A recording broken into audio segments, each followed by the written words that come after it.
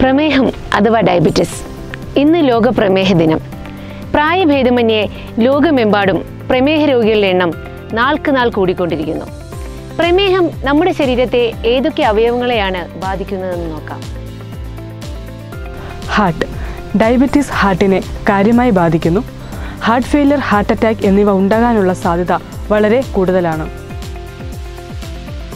Diabetes കൂടുമ്പോൾ തലച്ചോറിന്റെ പ്രവർത്തനങ്ങൾ തടസ്സപ്പെടുന്നു. അതുമൂലം സ്ട്രോക്ക് ഉണ്ടാകാനുള്ള സാധ്യത വർദ്ധിക്കുന്നു. ഐസ്. ഡയബറ്റിസ് കണ്ണിന്റെ പ്രഷർ കൂട്ടുകയും കാഴ്ചശക്തി കുറയുകയോ ഭാവിയിൽ കാഴ്ചശക്തി പൂർണമായും നഷ്ടപ്പെടുകയോ ചെയ്തേക്കാം. ഡയബറ്റിസ് കിഡ്നിയുടെ പ്രവർത്തനത്തെ സാരമായി ബാധിക്കുന്നു. കിഡ്നിയുടെ പ്രവർത്തനം കുറയുന്നത് മൂലം രോഗികൾക്ക് ഡയാലിസിസ് തുടങ്ങേണ്ടതായി വരാം. ചിലപ്പോൾ കിഡ്നി ട്രാൻസ്പ്ലാന്റ് വേണ്ടി വന്നേക്കാം. ഫീറ്റ്.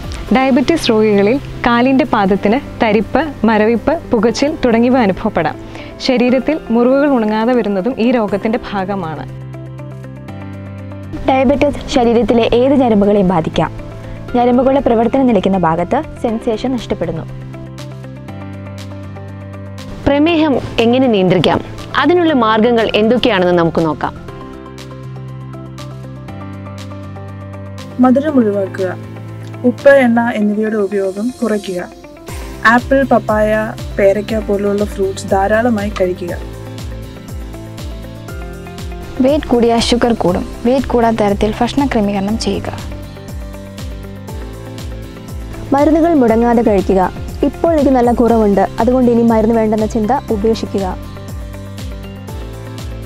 ആഴ്ചയിൽ അഞ്ച് ദിവസം മിനിമം അരമണിക്കൂറെങ്കിലും വ്യായാമം ചെയ്യുക. ശരീരം നന്നായി വിയർക്കുന്ന രീതിയിൽ വ്യായാമം ചെയ്യുക. സ്ട്രെസ് ഒഴിവാക്കുക.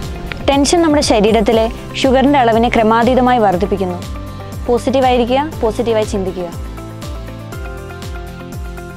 എല്ലാ കൊല്ലത്തെയും പോലെ ഇക്കൊല്ലവും നവംബർ പതിനാലാം തീയതി ഞ- നമ്മൾ ലോക പ്രമേഹ ദിനം ആചരിക്കുകയാണ്.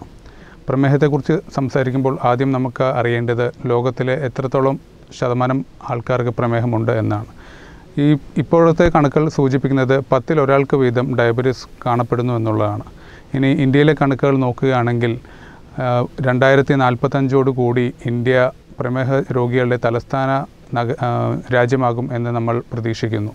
കേരളത്തിലോട്ട് വരികയാണെങ്കിൽ പൊതുവെ ഇന്ത്യയിൽ കാണുന്ന പോലെയുള്ള ഗ്രാമപ്രദേശം നഗരപ്രദേശം എന്നുള്ള വ്യത്യാസം കേരളത്തിൽ കാണുന്നില്ല. നഗരത്തിലും ഗ്രാമത്തിലും ഒരേ രീതിയിൽ ഡയബറ്റീസ് പേഷ്യന്റുകളുടെ എണ്ണം കൂടി വരുന്നതായിട്ടാണ് കാണുന്നത്.